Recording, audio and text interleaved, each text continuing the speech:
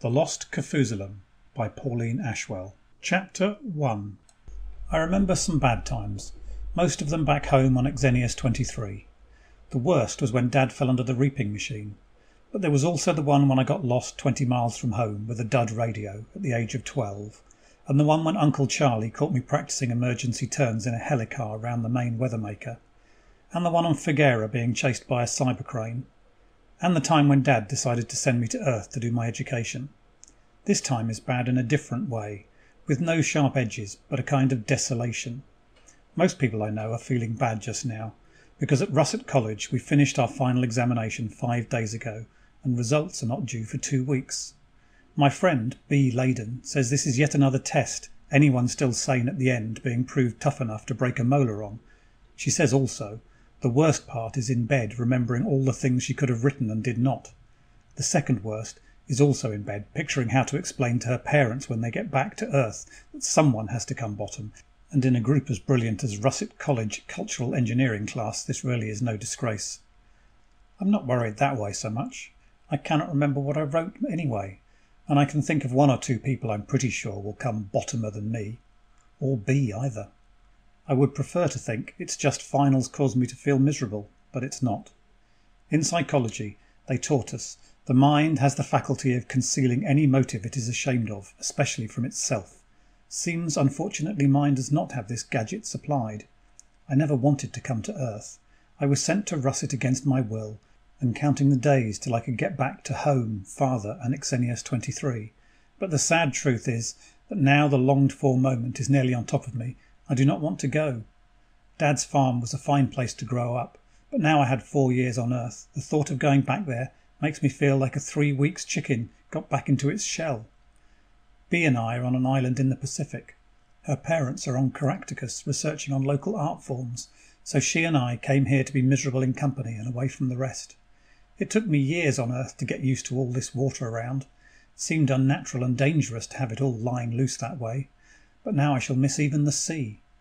The reason we have this long suspense over finals is that they will not use reading machines to mark the papers for fear of cutting down critical judgment, so each paper has to be read word by word by three examiners, and there are 43 of us, and we wrote six papers each.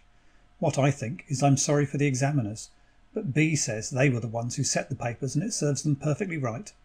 I expressed surprise because D. J. McClare, our professor, is one of them, but B says he's one of the greatest men in the galaxy, of course, but she gave up thinking of him perfect years ago. One of the main attractions on this island is swimming underwater, especially by moonlight. Dad sent me a fish boat as a birthday present two years back, but I never used it yet on account of my above mentioned attitude to water. Now I got this feeling of carpe diem, make the most of Earth while I'm on it, because probably I shall not pass this way again. The fourth day on the island, it is full moon at ten o'clock so I pluck up courage to wriggle into the boat and go out under the sea. B says fish parading in and out of reefs just remind her of cultural engineering, crowd behavior, so she prefers to turn in early and find out what nightmares her subconscious will throw up this time. The reefs by moonlight are everything they're supposed to be. Why did I not do this often when I had the chance? I stay till my oxygen is nearly gone then come out and sadly press the button that collapses the boat into a 30 pound package of plastic hoops and oxygen cans. I sling it on my back and head for the chalet B and I hired among the coconut trees. I am crossing an open space, maybe 50 yards from it, when a thing drops on me out of the air. I do not see the thing because part of it covers my face and the rest is grabbed round my arms and my waist and my hips and whatever. I cannot see and I cannot scream and I cannot find anything to kick. The thing is strong and rubbery and many armed and warmish, and less than a second after I first feel it I am being hauled up into the air. I do not care for this at all. I am at least fifty feet up before it occurs to me to bite the hand that gags me, and then I discover it is plastic, not alive at all. Then I feel self and encumbrance scraping through some kind of aperture. There is a sharp click as of a door closing, and the thing goes limp all around me. I spit out the bit I am biting, and it drops away so that I can see. Well, I'm in some kind of cup shaped space, maybe ten feet across, but not higher than I am. There is a trap door in the ceiling. The thing is lying all around me, in a mess of plastic arms, with an extensible stalk connecting it to the wall. I kick free and it turns over, exposing the label. fragile cargo right across the back. The next thing I notice is two holdalls, B's and mine, clamped against the wall. And the next after that is the opening of a trapdoor in the ceiling and B's head silhouetted in it, remarking, Oh, there you are, Liz. I confirm this statement and ask for explanations. B says she doesn't understand all of it, but is all right. It is not all right, I reply, if she has joined some society for the realization of fictitious improbabilities, that it is her privilege, but no reason to involve me. B says, Why do I not stop talking and come up and see for myself? There's a slight hitch when I jam in the trap door. Then B helps me get the boat off my back, and I drop it on the fragile cargo, and emerge into the cabin of a hopper, drop shaped cargo carrying. I have been in its hold till now. There are one or two peculiar points about it or maybe one or two hundred, such as the rate at which we are ascending, which seems to be bringing us right out into the stratosphere. But the main thing I notice is the pilot. He has his back to us, but is recognizably Ram Gopal, who graduated in cultural engineering last year. Rumour says next to top of his class. I ask him what kind of melodramatic shenanigan is this. B says we had to leave quietly in a hurry without attracting attention, so she booked us out of the hotel hours ago, and she and Ram have been hanging around waiting for me ever since. I point out that the scope trace of an unidentified flying object will occasion a lot more remark than a normal departure, even at midnight. At this, Ram smiles in an inscrutable oriental manner, and B gets nearly as cross as I do. Seems she has mentioned this point before. We've not gone into it properly when the cabin suddenly shifts through a right angle. B and I go sliding down the vertical floor, and end sitting on a window. There is a jolt and a shudder, and Ram mutters things in Hindi, and then suddenly up is nowhere at all. B and I scramble off the window and grab fixtures so as to stay put. The stars have gone, and we can see nothing except the dim glow over the instruments. Then suddenly lights go on outside. We look out into the hold of a ship. Our ten foot teardrop is sitting next to another one, like two eggs in a rack. On the other side is a bulkhead. Behind, the curve of the hull, and directly ahead an empty space, then another bulkhead, and an open door, through which, after a few seconds, a head pokes cautiously. The head is then followed by a body, which kicks off against the wall and sails slowly towards us. Ram presses a stud, and a door slides open in the hopper, but the new arrival stops himself with a hand on either side of the frame, his legs trailing any old how behind him. It is Peter Yang Sen, who graduated the year I did my field work. He says, Gopal, dear fellow, there was no need for the knocking. We heard the bell all right. Ram grumbles something about the guide beam being misset and slides out of his chair. Peter announces that we've only just made it as the deadline is in seven minutes' time. He waves B and me out of the hopper, through the door, and into a corridor where a certain irregular vibration is coming from the walls. Ram asks, What is that tapping? And Peter sighs and says, The present generation of students has no discipline at all. At this, B breaks with one hand against the wall and cocks her head to listen. Next moment she laughs and starts banging with her fist on the wall. Peter exclaims in Mandarin and tows her away by one wrist like a reluctant kite. The rapping starts again on the far side of the wall, and I suddenly recognize a primitive signaling system called regret or something. I guess because it was used by people in situations they did not like, such as sinking ships or solitary confinement. It is done by tapping water pipes and such. Someone found it in a book, and the more childish element in college learned it up for signalling during compulsory lectures, interest waning abruptly when the lecturers started to learn it too. I never paid much attention, not expecting to be in solitary confinement much. This just shows you. The next moment Ram opens a door and pushes me through it. The door clicks behind me, and solitary confinement is what I am in. I remember this code is really called remorse, which is what I feel for not learning when I had the chance. However, I do not have long for it. A speaker in the wall requests everyone to lie down as acceleration is about to begin. I strap down on the couch, which fills half the compartment. Countdown begins at zero, and the floor is suddenly down once more. I wait till my stomach settles, then rise to explore. I am in an oblong room, about 8 by 12. It looks as though it had been hastily partitioned off from a larger space. The walls are prefab plastic sheet, the rest is standard fittings slung in and bolted down with the fastenings showing. How many of my classmates are on this ship? Remorse again as tapping starts on either side of me. Discarding such hypotheses as that Ram and Peter are going to hold us to ransom, which might work for me since my dad somehow got to be a millionaire, but not for B because her parents think money is vulgar, or that we are being carried off to found an ideal colony somewhere. Any first year student can tell you why that won't work. Only one idea seems plausible. That is that finals were not final and we're in for a test of some sort. After 10 minutes, I get some evidence. A reading machine is trundled in, the door immediately slamming shut so I do not see who trundles it. I prowl round it looking for tricks, but it seems standard. I take a seat in it, put on the headset and turn the switch. Hypothesis confirmed, I suppose. There is a reel in place, and it contains background information on a problem in cultural engineering, all set out the way we are taught to do it in class. The problem concerns developments on a planet got settled by two groups during the Exodus and been isolated ever since.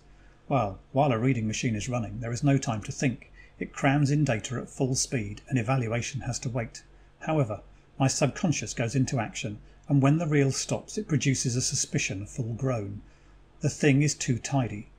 When we were first year, we dreamed up situations like this and argued like mad over them, but they were a lot too neat for real life and too dramatic as well.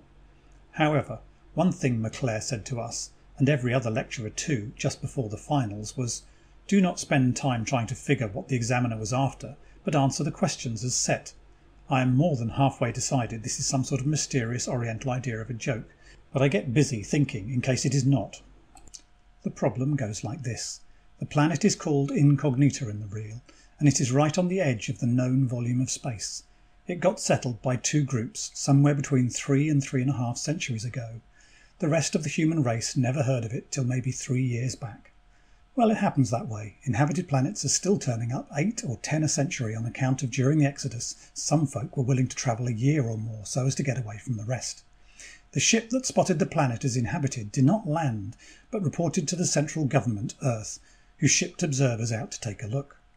There was a rumour circulating at Russett that the Terry government might employ some of us on that kind of job, but it never got official. I do not know whether to believe this bit or not. It is stated that the observers landed secretly and mingled with the natives unobserved. This is not physically impossible, but sounds too like a field trip to be true. The observers are not named, but stated to be graduates of the cultural engineering class. They put in a few months' work and sent home unanimous crash priority reports. The situation is bad, getting worse, and the prognosis is war. Brother. I know people had wars. I know one reason we do not have them now is just that with so many planets and cheap transportation, pressure has other outlets. These people scrapped their ships for factories and never built more. But there are only about 10 million of them, and surely to goodness a whole planet gives room enough to keep out of each other's hair. Well, this is not reasoning, but a reaction. I go back to the data for another look. The root trouble is stated to be that the two groups landed on the planet without knowing the others were there. When they met 30 years later, they got a disagreeable shock. I cannot see there was any basic difference between them. They were very similar, especially in that neither lot wanted anything to do with people they had not picked themselves. So they divided the planet along a great circle, which left two of the main land masses in one hemisphere and two in another. They agree each to keep to its own section and leave the other alone. Twenty years later, trading like mad, each has certain minerals the other lacks. Each has certain agricultural products the other finds difficult to grow. You think this leads to cooperation and friendship and ultimate federation? I will not go into the incidents that make each side feel it is being gypped. It is enough that from time to time each has a scarcity or hold up on deliveries that upsets the other's economy and they start experimenting to become self sufficient, and the exporter's economy is upset in turn, and each thinks the other did it on purpose. This sort of situation reacts internally, leading to politics. There are troubles about a medium sized island on the dividing line, and the profits from interhemispherical transport, and the laws of interhemispherical trade. It takes maybe 200 years, but finally each has expanded the police into an army with a whole spectrum of weapons not to be used on any account except for defense. This situation lasts 70 years, getting worse all the time. Now rumors have started on each side that the other is developing an ultimate weapon, and the political parties not in power are agitating to move first before the thing is complete. The observers report war, not maybe this year or the next, but within 10, and if neither side was looking for an ultimate weapon to begin with, they certainly are now. Taking all this at face value, there seems to be an obvious solution. I'm thinking this over in an academic sort of way when an itchy trickle of sweat starts down my vertebrae. Who is going to apply this solution? Because if this is anything but another test, or the output of a diseased sense of humour, I would be sorry for somebody. I dialed black coffee on the wall servitor and wish B were here so we could prove to each other the thing is just an exercise. I do not do so well at spotting proofs on my own. Most of our class exercises have concerned something that happened once. After about 90 minutes, the speaker requests me to write not more than 1,000 words on any scheme to improve the situation and the equipment required for it. I spent 10 minutes verbalizing the basic idea and an hour or so on equipment. The longer I go on, the more unlikely it all seems. In the end, I have maybe 200 words, which acting on instructions I post through a slit in the door. Five minutes later, I realize I've forgotten the time factor. If the original ship took a year to reach Incognita, it will take at least four months now. Therefore, it is more than four months since that report was written, and will be more than a year before anyone arrives, and war may have started already. I sit back, and by transition of ideas start to wonder where this ship is heading. We're still at 1G, and even on mass time, you cannot juggle apparent acceleration and spatial transition outside certain limits. We are not just orbiting, but must be well outside the solar system by now. The speaker announces, Everyone will now get some rest. I smell sleep gas for one moment and just have time to lie down. I guess I was tired at that. When I wake, I feel more cheerful than I have for weeks. Analysis indicates I am glad something is happening, even if it is another exam. I dial breakfast, but am too restless to eat. I wonder how long this goes on, or whether I'm supposed to show initiative and break out. I am examining things with this in mind when the speaker comes to life again. It says, Ladies and gentlemen, you have not been told whether the problem that you studied yesterday concerned a real situation or an imaginary one. You have all outlined measures which you think would improve the situation described. Please consider seriously whether you would be prepared to take part yourself in the application of your plan. Brother. There is no way to tell whether those who say no will be counted cowardly, or those who say yes rash idiots, or what. The owner of that voice has his inflections too well trained to give away anything except intentionally. D.J. McClare. Not in person, but a recording. Anyway, McClare is on Earth, surrounded by exam papers. I sit back and try to think, honestly, if that crack brained notion I wrote out last night were going to be tried in dead earnest, would I take a hand in it? The trouble is, hearing McClare's voice has convinced me it is a test. I don't know whether it's testing my courage or my prudence. In fact, I might as well toss for it. Heads, I am crazy. Tails, a defaulter. Tails is what it is. I seize my styler and write the decision down. There is the slit in the door. I twiddle the note and think, well, nobody asked for it yet. Suppose it is real after all. I remember the itchy, sweaty feeling I got yesterday and try to picture really embarking on a thing like this, but I cannot work up any lather today. I begin to picture McClare reading my decision not to back up my own idea. I pick up the coin and juggle it around. The speaker remarks, When I am quite ready, will I please make a note of my decision and post it through the door? I go on flipping the coin up, and presently it drops on the floor. Heads this time. Tossing coins is a pretty feeble way to decide. I drop the note on the floor and take another sheet and write, Yes, Lysistrata Lee. Using that name seems to make it more legal. I slip the paper in the slit and poke till it falls through on the other side of the door. I am suddenly immensely hungry and dial breakfast all over again. Just as I finish, McClare's voice starts once more. It's always the minor matters that cause the most difficulty. The timing of this announcement has cost me as much thought as any aspect of the arrangements. The trouble is that however honest you are, and your honesty has been tested repeatedly, and however strong your imagination, about half your training has been devoted to developing it, you can't possibly be sure, answering a hypothetical question, that you are giving the answer you would choose if you knew it was asked in dead earnest. Those of you who answer the question in the negative are out of this. They have been told that it was a test of an experimental nature and have been asked to keep the whole thing a secret. They will be returning to Earth in a few hours' time. I ask the rest of you to think it over once again. Your decision is still private. Only the two people who gathered you together know which members of the class are in this ship. The list of possible helpers was compiled by a computer. I haven't seen it myself. You have a further half hour in which to make up your minds finally. Please remember that if you have any private reservations on the matter, or if you are secretly afraid, you may endanger us all. You all know enough psychology to realize this. If you still decide in favor of the project, write your name on a slip of paper and post it as before. If you are not absolutely certain about it, do nothing. Please think it over for half an hour. Me, I had enough thinking. I write my name, just L. Lee, and post it straight away. However, I cannot stop thinking altogether. I guess I think very hard, in fact. My subconscious insists afterwards that it did register the plop as something came through the slit, but my conscious failed to notice it at all. Hours later, my watch says 25 minutes, but I guess the mass time has affected it. Anyway, I had three times too much solitary confinement. When will they let me out of here? There is a knock at the door, and a second later it slides apart. I'm expecting Ram or Peter, so it takes me an appreciable fraction of a moment to realize I'm seeing D.J. McClare. Then I remember he's back on Earth, buried in exam papers, and I conclude I'm having a hallucination. This figment of my imagination says politely, Do you mind if I sit down? He collapses on the couch, as though thoroughly glad of it. It is a strange thing. Every time I see McClare, I am startled all over again at how good looking he is. Seems I forget it between times, which is maybe why I never fell for him as most of the female students do. However, what strikes me this time is that he looks tired. Three days sleepless tired, with worries on top. I guess he is real at that. He says, Don't look so accusing, Lizzie. I only just got on this ship myself. This does not make sense. You cannot just arrive on a ship 24 hours after it goes on mass time, or can you? McClare leans back and closes his eyes and inquires whether I am one of the Morse enthusiasts. So that is the name.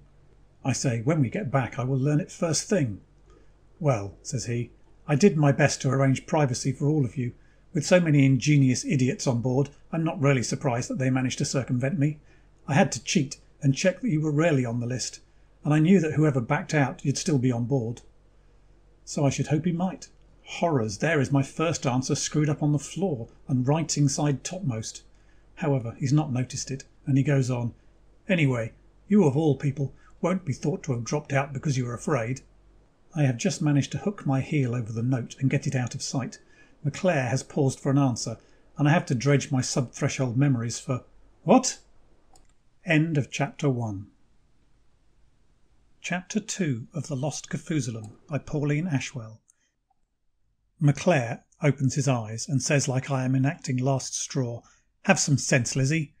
Then, in a different tone, Ram says he gave you the letter half an hour ago. What letter? My brain suddenly registers a small pale patch been occupying a corner of my retina for the last half hour. It turns out to be a letter, postmarked Xenius 23. I disembowel it with one jerk. It's from my dad and runs like this My dear Liz, Thank you for your last letter. Glad you are keeping fit, and so am I. I just got a letter from your college saying you will get a degree conferred on you on September the 12th, and parents, if on Earth, will be welcome. Well, Liz, this I gotta see, and Charlie says the same. But the letter says too, Terran Authority will not give a permit to visit Earth just for this. So I wangled onto a delegation which is coming to discuss trade with the Department of Commerce. Charlie and I will be arriving on Earth on August the 24th. Liz, it is good to think I shall be seeing you again after four years. There are some things about your future I meant to write to Professor McClare about, but now I shall be able to talk it over direct. Please give him my regards. Be seeing you, Lizzie girl. Your affectionate Dad. J. X. Lee. Dear old Dad. After all these years farming with a weathermaker on Dry Dust Planet, I want to see his face the first time he sees real rain. Hell's fires and shades of darkness. I shan't be there. McClare says, your father wrote to me saying that he'll be arriving on Earth on 24th August. I take it your letter says the same. I came on a dispatch boat. You can go back on it. Now what is he talking about? Then I get the drift. I say, look, so Dad will be on Earth before we get back. What difference does that make? You can't let him arrive and find you missing. Well, I admit to a qualm at the thought of Dad let loose on Earth without me, but after all, Uncle Charlie is a born Terry and can keep him in line. Hell, he's old enough to look after himself anyway. You met my dad, I point out. You think J.X. Lee would want any daughter of his backing out of a job so as to hold his hand? I can send him a letter saying I'm off on a job or a test or whatever I please, and hold everything till I get back.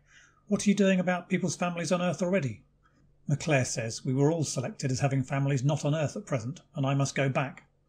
I say, like hell I will. He says he is my official guardian and responsible for me.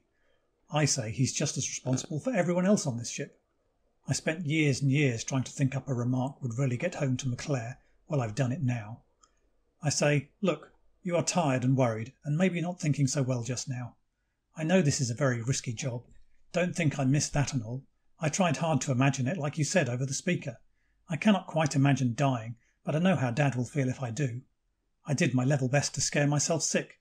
Then I decided it is just plain worth the risk anyway. To work out a thing like this, you have to have a kind of arithmetic. You add in everybody's feelings with the other factors. Then, if you get a plus answer, you forget everything else and go right ahead. I'm not going to think about it any more, because I added up the sum and got the answer, and upsetting my nerves won't help. I guess you worked out the sum too. You decided 4 million people were worth risking 20, even if they do have parents, even if they are your students. So they are too, and you gave us all a chance to say no. Well, nothing has altered that, only now the values look different to you because you're tired and worried and probably missed breakfast too. Brother, some speech. I wonder what got into me. McClare is wondering too, or maybe gone to sleep sitting. It is some time before he answers me. Miss Lee, you are deplorably right on one thing at least. I don't know whether I was fit to make such a decision when I made it, but I'm not fit now. As far as you personally are concerned, he trails off, looking tireder than ever, and then picks up suddenly. You are again quite right. I'm every bit as responsible for the other people on board as I am for you. He climbs slowly to his feet and walks out without another word. The door is left open, and I take this as an invitation to freedom and shoot through it in case it was a mistake. No, because Ram is opening doors all along the corridor, and ten of Russett's brightest come pouring out like mercury finding its own level and coalesce in the middle of the floor. The effect of release is such that after four minutes, Peter Yang Sen's head appears at the top of the stairway, and he says the crew is lifting the deck plates. Will we, for time's sake, go along to the conference room, which is soundproof? The conference room is on the next deck, and like our cabins, shows signs of hasty construction. The soundproofing is there, but the acoustics are kind of muffled, and the generator is not boxed in but has cables trailing all over, and the fastenings have a strong but temporary look.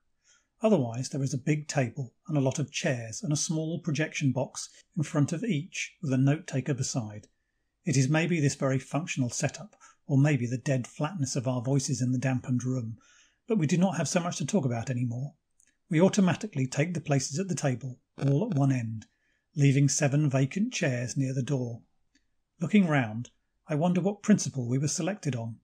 Of my special friends, Eru Te Wangoa and Kirsty Lamagore are present, but Lily Chen and Likofo Komombaratse and Jin Lebrun are not. We have Cray Patterson, who is one of my special enemies, but not Blazer Way or Astral Cad. The rest are Pisa Potek, Nick Howard, Arrow Mester, Dilly Dixie, Pavel Christianovich, Lenny DiMaggio, and Shootwright Crow. Arrow is at the end of the table, opposite the door, and maybe feels this position puts it up to him to start the discussion. He opens by remarking, So, nobody took the opportunity to withdraw? Cray Patterson lifts his eyebrows ceilingwards and drawls out that the decision was supposed to be a private one. B says, Maybe it did not work out that way. Everyone who learned Morse knows who was on the ship. Anyway, they are all still here, so what does it matter? and McClare would not have picked people who were going to funk it after all. My chair gets a kick on the ankle, which I suppose was meant for B. Arrow is six foot five, but even his legs do not quite reach. He's the only one of us facing the door. McClare has somehow shed his weariness. He looks stern but fresh as a daisy. There are four with him Ram and Peter looking serious, one stranger in Evercleans looking determined to enjoy the party, and another in uniform, looking as though nothing would make him. McClare introduces the strangers as Colonel Delano Smith and Mr. Yardo. They all sit down at the other end of the table. Then he frowns at us and begins like this Miss Leyden is mistaken. You were not selected on any such grounds as she suggests. I may say that I was astonished at the readiness with which you all engaged yourselves to take part in such a desperate gamble. And seeing that for the last four years I have been trying to persuade you that it is worth while, before making a decision of any importance, to spend a certain amount of thought on it, I was discouraged as well. Oh. The criterion upon which you were selected was a very simple one. As I told you, you were picked not by me but by a computer, the one in the college office which registers such information as your home address and present whereabouts. You are simply that section of the class which could be picked up without attracting attention, because you all happen to be on holiday by yourselves or with other members of the class, and because your nearest relatives are not on Earth at present. Oh well. All of us can see McClare is doing a job of deflation on us for reasons of his own, but it works for all that. He now seems to feel the job is complete and relaxes a bit. I was interested to see that you all, without exception, hit on variations of the same idea. It is, of course, the obvious way to deal with the problem. He smiles at us suddenly, and I get mad at myself because I know he is following the rules for introducing a desired state of mind, but I am responding as meant. I'll read you the most succinct expression of it. You may be able to guess the author. Business with bits of paper. Here it is. I quote Drag in some outsider. Looks like he's going for both sides. They will gang up on him. Yells of laughter and shouts of Lizzie Lee. Even the two strangers produce sympathetic grins. I do not find it so funny as all that myself. Ideas as to the form the outsider should take were more varied. This is a matter I propose to leave to you to work out together, with the assistance of Colonel Delano Smith and Mr. Yardo. Te Wahangoa, you take the chair. Exit McClare. This leaves the two halves of the table eyeing one another. Ram and Peter have been through this kind of session in their time. Now they are leaning back, preparing to watch us work. It is plain we're supposed to impress the abilities of Russett near graduates on the two strangers, and for some moments we're all occupied taking them in. Colonel Delano Smith is a small, neat guy with a face that has all the muscular machinery for producing an expression, he just doesn't care to use it. Mr. Yardo is taller than any of us except Eru, and flesh is spread very thin on his bones, including his face, which splits now and then in a grin like an affable skeleton. Where the colonel fits is guessable enough. Mr. Yardo is presumably expert at something, but no data on what. Eru rests his hands on the table and says we'd better start. Will somebody kindly outline an idea for making the incognitans gang up? The simpler the better, and it does not matter whether it is workable or not. Pulling it to pieces will give us a start. We all wait to see who will rush in. Then I catch Eru's eye and see I am elected clown again. I say, send them a letter postmarked outer space, signed BEM, saying we lost our own planet in a nova and will take theirs over in two weeks from Tuesday. Mr. Yardo utters a sharp ha ha, but is not seconded. The colonel, having been expressionless all along, becomes more so. Eru says, Thanks, Lizzie. He looks across at Cray, who is opposite me. Cray says there are many points on which he might comment. To take only one, two weeks from Tuesday leaves little time for ganging up. And what happens when the BEMs fail to come? We're suddenly back in the atmosphere of a seminar. Eru's glance moves to Pisa Potek, sitting next to Cray, and he says, These BEMs who lost their home planet in a nova, how many ships have they? Without a base, they cannot be very dangerous unless their fleet is very large. It goes round the table. Pavel, how would the BEMs learn to write? Nick. How are they supposed to know that Incognita is inhabited? How did they address the letter? The Crow. Huh. Why write letters? Invaders just invade. Kirsty. We don't want to inflame these people against alien races. We might find one someday. It seems to me this idea might have all sorts of undesirable byproducts. Suppose each side regards it as a ruse on the part of the other. We might touch off a war instead of preventing it. Suppose they turn over to preparations for repelling the invaders to an extent that cripples their economy. Suppose a panic starts. Dilly. Say, Mr. Chairman, is there any of this idea left at all? How about an interim summary? Eru coughs to get a moment for thought, then says, In brief, the problem is to provide a menace against which the two groups will be forced to unite. It must have certain characteristics. It must be sufficiently far off in time for the threat to last several years, long enough to force them into a real combination. It must obviously be a plausible danger, and they must get to know of it in a plausible manner. Invasion from outside is the only threat so far suggested. It must be a limited threat, that is, it must appear to come from one well defined group. The rest of the universe should appear benevolent or neutral. He just stops, rather as though there's something else to come. While the rest of us are waiting, B sticks her oar in to the following effect. Yes, but look, suppose this goes wrong. It's all very well to make plans, but suppose we get some of Kirsty's side effects just the same. Well, what I mean is, suppose it makes the mess worse instead of better. We want some way we can sort of switch it off again. Look, this is just an illustration, but suppose the menace was pirates. If it went wrong, we could have an Earth ship make some official contact, and they could just happen to say, by the way, have you seen anything of some pirates? Earth fleet wiped them up in this sector about six months ago. That would mean the whole crew conniving, so it won't do, but you see what I mean? There's a bit of a silence. Then Arrow says, I think we should start fresh. We've had criticisms of Lizzie's suggestion, which was not perhaps wholly serious. And, as Dilly says, there is little of it left, except the idea of a threat of invasion. The idea of an alien intelligent race has objections, and would be very difficult to fake. The invaders must be men from another planet, another unknown one. But how do the people of Incognita come to know they exist? More silence. Then I hear my own voice speaking, although it is my intention to keep quiet for once. It sounds kind of creaky, and it says, A ship? A crashed ship from outside? Whereupon another voice says, Really? Am I expected to swallow this? We had just forgotten the Colonel, not to mention Mr. Yardo, who contributes another ha ha. So this reminder comes as a slight shock nor do we see what he's talking about. But this he proceeds to explain. I don't know why McClare thought it necessary to stage this discussion. I am already acquainted with his plan and have had orders to cooperate. I have expressed my opinion on using undergraduates in a job like this and have been overruled. If he or you imagine that priming you to bring out his ideas like this is going to reconcile me to the whole business, you are mistaken. He might have chosen a more suitable mouthpiece than that child with the curly hair. Here everybody wishes to reply at once, the resulting jam produces a moment of silence, and I get in first. As for curly hair, I am rising 24, and I was only saying what we all thought. If we have the same ideas as McClare, that is because he taught us for four years. How else would you set about it anyway? My fellow students pick up their stylers and tap solemnly three times on the table. This is the Russett equivalent of hear, hear, and the colonel is surprised. Eru says coldly, This discussion has not been rehearsed. As Lizzie, as Miss Lee says, we have been working and thinking together for four years and have been taught by the same people. Very well, says Delano Smith testily. Tell me this, please. Do you regard this idea as practicable? Cray tilts his chair back and remarks to the ceiling, This is rather a farce. I suppose we had to go through our paces for the Colonel's benefit, and Mr. Yardo's, of course, but can't we be briefed properly now? What do you mean by that? snaps the Colonel. It's been obvious right along, says Cray, balancing his styler on one forefinger.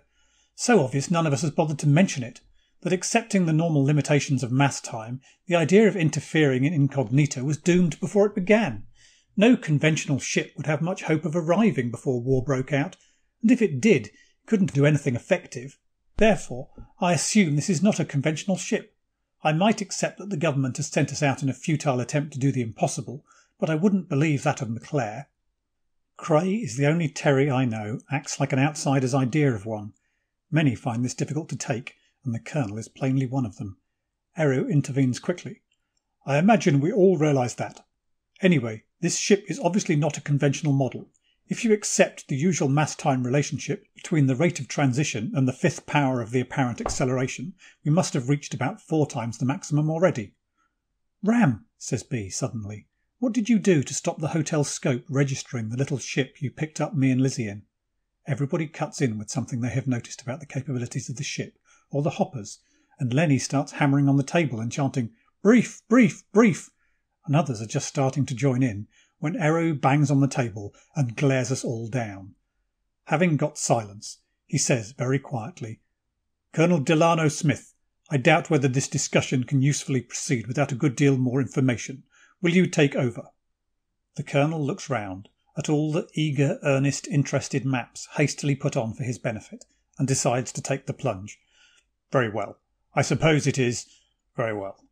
The decision to use students from Russett was made at a very high level, and I suppose Instead of saying very well again, he shrugs his shoulders and gets down to it.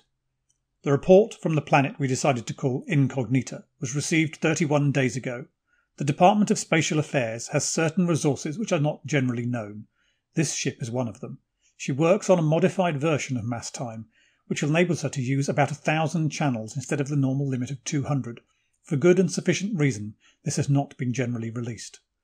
Pause while we are silently dared to doubt the virtue and sufficiency of these reasons, which personally I do not. To travel to Incognita direct would take about 15 days by the shortest route. We shall take 18 days, as we shall have to make a short detour.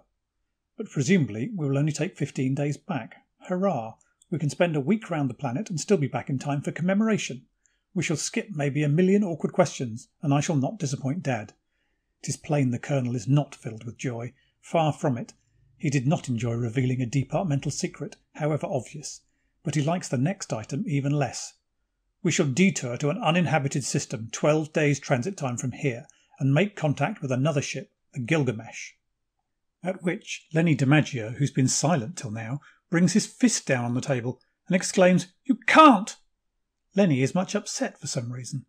Delano Smith gives him a peculiar look and says what does he know about it, and Lenny starts to stutter. Cray remarks that Lenny's childhood hobby appears to have been spaceships, and he suffers from arrested development. B says it is well known that Lenny is mad about the Space Force, and why not? It seems to have uses. Go on and tell us, Lenny. Lenny says, Gilgamesh was lost 300 years ago. The flaw in that statement, says Cray after a pause, is that this may be another ship of the same name. No, says the Colonel. Explorer class cruiser. They went out of service 280 years back. The Space Force, I remember, does not reuse names of lost ships. Some say very proper feeling. Some say superstitious rot. B says, when was she found again? Lenny says it was just 37 revolutions of his native planet, which means for 53 terrestrial years ago. She was found by an interplanetary scout called Crusoe.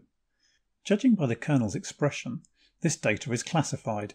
He does not know that Lenny's family come out of one of the oldest settled planets and are space goers to a man, woman, and juvenile. They pick up ship gossip the way others hear about the relations of people next door. Lenny goes on to say that the Explorer class were the first official exploration ships sent out from Earth when the Terrys decided to find out what happened to the colonies formed during the Exodus. Gilgamesh was the first to make contact with Garuda, Legba, Lister, Corbis, and Antelope. She vanished on her third voyage. Where was she found? asked Eru. Near the pole of an uninhabited planet. Maybe I shouldn't say where, because that may be secret, but the rest's history if you know where to look. Maybe the Colonel approves this discretion. Anyway, his face thaws very slightly, unless I'm imagining it. Gilgamesh crashed, he says.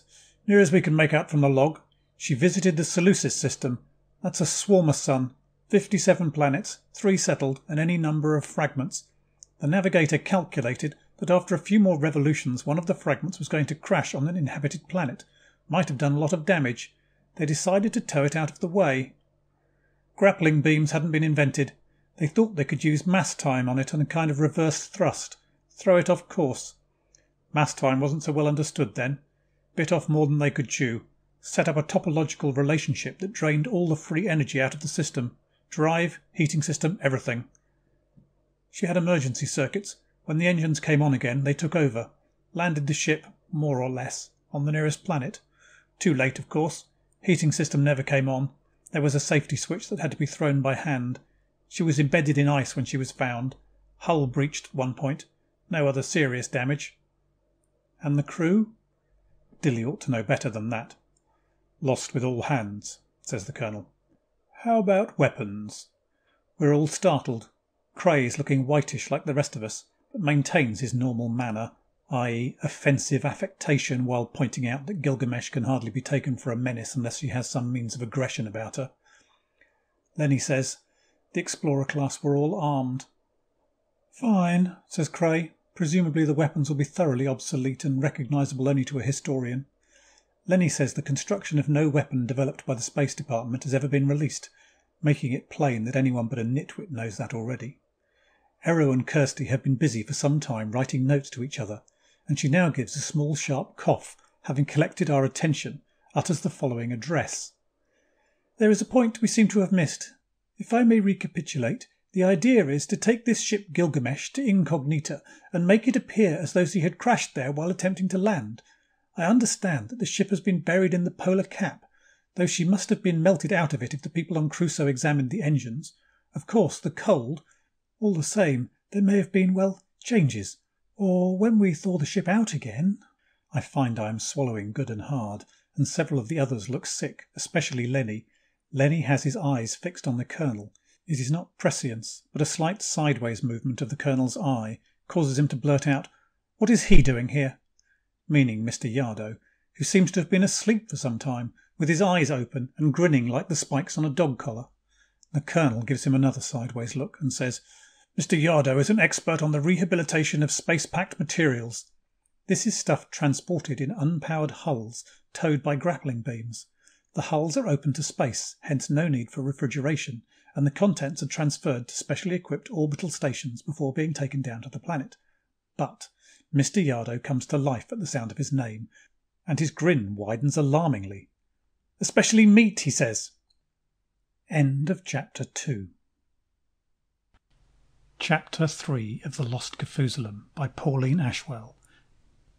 It is maybe two hours afterwards Eru having adjourned the meeting abruptly so that we can uh, take in the implications of the new data. Lenny has gone off somewhere by himself. Kirsty has gone after him with a view to mothering him. Eru, I suspect, is looking for Kirsty. Pavel, Arrow, Dilly, and the Crow are in a cabin arguing in whispers. Nick and P. Zapotek are exploring one of the hoppers, cargo carrying, drop shaped, and I only hope they don't hop through the hull in it. B and I, having done a tour of the ship and ascertained all this, have withdrawn to the conference room because we are tired of our cabins and this seems to be the only other place to sit.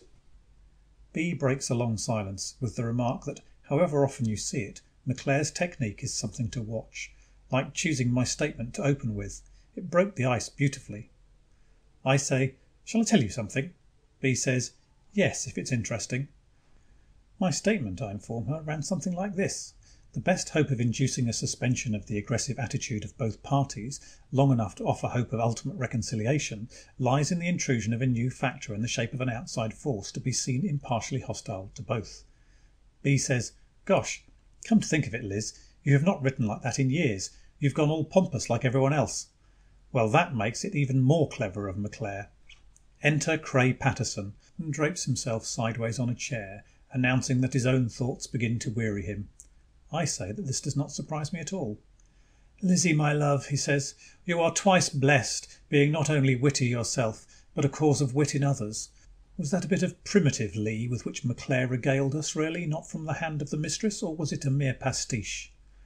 I say, whoever wrote that, it was not me, anyway. It seemed to me pale and lukewarm compared with the real thing, says Cray languidly. Which brings me to a point that, to quote dear Kirsty, seems to have been missed. I say, Yep, like what language it was that these people wrote their login that we can be certain the incognitans won't know. More than that, says B, we didn't decide who they are, where they were coming from, or how they came to crash, or anything. Come to think of it, though, I point out, the language and a good many other things must have been decided already because of getting the right hypnotapes and translators on board. B suddenly lights up.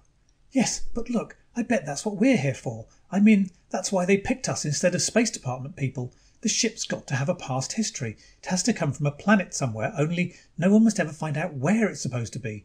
Someone will have to fake a log, only I don't know how. The first reel with data showing the planet of origin got damaged during the crash, says Cray impatiently. Yes, of course, but we have to find a reason why they were in that part of space, and it has to be a nice one. I mean, so that the incognitans, when they finally read the log, won't hate them anymore. Maybe they were bravely defending their own planet by hunting down an interplanetary raider, I suggest. Cray says it will only take the briefest contact with other planets to convince the incognitans that interplanetary raiders can't and don't exist. Modern planetary alarm and defense systems put them out of the question. That's all he knows, says B. Some interplanetary pirates raided Lizzie's father's farm once, didn't they, Liz? Yes, in a manner of speaking. But they were bums who pinched a spaceship from a planet not many parsecs away a sparsely inhabited mining world like my own, which had no real call for an alarm system, so that hardly alters the argument. Well, says B, The alarm system in Incognita can't be so hot, or the observation ships could not have got in and out, for that matter. Unless, of course, they have some other gadget we don't know about. On the other hand, she considers, to mention interplanetary raiders raises the ideas of menace in an unfriendly universe again, and this is what we want to cancel out. These people, she says at last, with a visionary look in her eye, come from a planet which went isolationist and abandoned space travel. Now they've built up their civilization to a point where they can build ships of their own again, and the ones on Gilgamesh have cut loose from the ideas of their ancestors that led to their going so far afield. How far afield? says Cray. No one will ever know, I point out to him. Don't interrupt. Anyway, says B, they set out to rejoin the rest of the human race, just like the people on Gilgamesh rarely did. In fact, a lot of this is truth only kind of backwards. They were looking for the cradle of the race, that's what. Then there was some sort of disaster that threw them off course to land on an uninhabited section of the planet that couldn't understand their signals. And when Incognita finally does take to spaceflight again, I bet the first thing people do is to try and follow back to where Gilgamesh came from and make contact with them. It'll become a legend on Incognita. The Lost People. The Lost... Lost... The Lost Kafoozalum, said Cray. In other words, we switched these people off a war only to send them on a wild goose chase. At which a strange voice chimes in. No, no, no, son, you've got it all wrong. Mr. Yardo is with us, like a well-meaning skeleton. During the next 25 minutes, we learn a lot about Mr. Yardo, including material for a good guess as to how he came to be picked for this expedition. Doubtless there are many experts on reversal of vacuum induced changes in organic tissues, but maybe only one of them is a romantic at heart. Mr. Yardo thinks chasing the wild goose will do the incognitans all the good in the galaxy. It will take their minds off controversies over interhemispherical trade and put them on the quest of the unobtainable. They will get to know something of the universe outside their own little speck. Mr. Yardo has seen a good deal of the universe in the course of advising on how to recondition space packed meat, and he found it an uplifting experience. We gather he finds this desperate bit of damn foolery we are now on pretty uplifting altogether. Cray keeps surprisingly quiet, but it is as well that the rest of the party start to trickle in about twenty minutes later, the first arrivals remarking, Oh, that's where you got to. Presently we are all congregated at one end of the table as before, except that Mr. Yardo is now sitting between B and me. When McClare and the Colonel come in, he firmly stays where he is, evidently considering himself one of us now. The proposition, says McClare, is that we intend to take Gilgamesh to Incognita and land her there in such a way as to suggest that she crashed. In the absence of evidence to the contrary, the incognitans are bound to assume that that was her intended destination, and the presence of weapons, even disarmed, will suggest that her mission was aggressive. Firstly, can anyone suggest a better course of action, or does anyone object to this one? We all looked at Lenny, who sticks his hands in his pockets and mutters, No. Kirsty gives her little cough and says there is a point which has not been mentioned. If a heavily armed ship crashes on Incognita, will not the government of the hemisphere in which it crashes be presented with new ideas for offensive weapons? And won't this make it more likely they will start aggression? And won't the fear of this make the other hemisphere even more likely to try and get in before the first new weapons are complete? Hell, I ought to have thought of that. From the glance of unwilling respect which the Colonel bestows upon McClare, it is plain that these points have been dealt with. The weapons on Gilgamesh were disarmed when she was rediscovered, he says. Essential sections were removed. The incognitans won't be able to reconstruct how they worked. Another fact for which we shall have to provide an explanation. Well, how about this? The early explorers sent out by these people, the people in Gilgamesh, oh, use Cray's word and call them the Lost Kafoozalum. Anyway, their ships were armed, but they never found any enemies, and the idealists of B's story refused to even carry arms anymore which is just about what happened when the Terrys set out to rediscover the colonies after all. So the lost Kafoozalum could not get rid of their weapons completely because it would have meant rebuilding the ship, so they just partially dismantled them. Mr. Yardo suddenly chips in. About that other point, girlie. Surely there must be some neutral ground left on a half occupied planet like that. He beams round, pleased at being able to contribute. B says, The thing is, and then stops. We wait. We have about given up hope when she resumes, The thing is, it will have to be neutral ground, of course. Only that might easily become a, a thingamy. I mean a, a casus belli in itself.